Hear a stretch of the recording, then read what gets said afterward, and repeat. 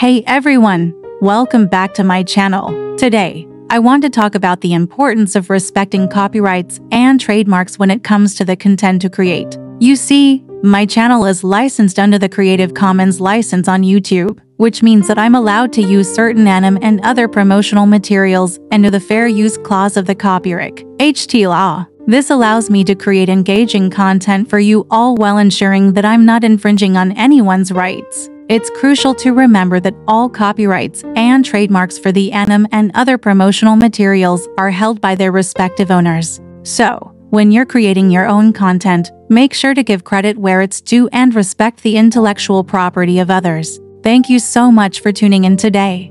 And I hope you found this information helpful. If you enjoyed this video, please give it a thumbs up and don't forget to subscribe to my channel for more content like this. Ito pa, sino kaya yung manihid na nagpasimuno niyang war on drugs na yan?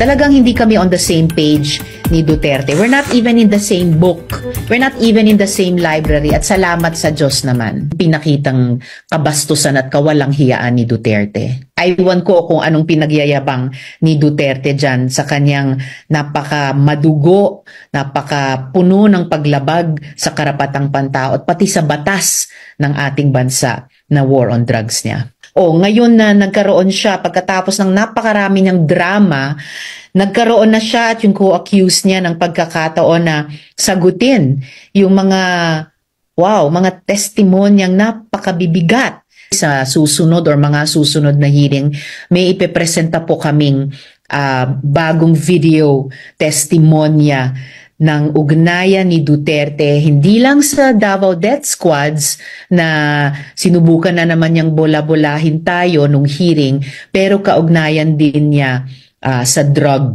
business itself.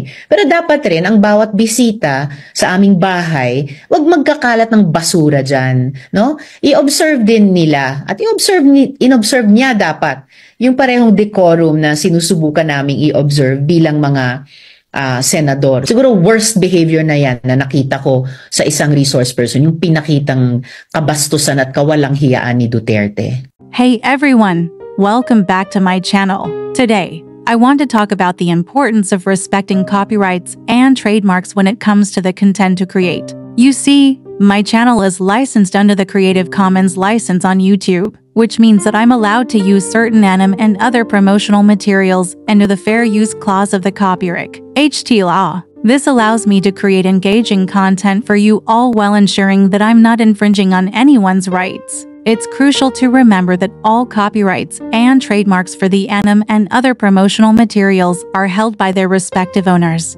So, when you're creating your own content, make sure to give credit where it's due and respect the intellectual property of others. Thank you so much for tuning in today.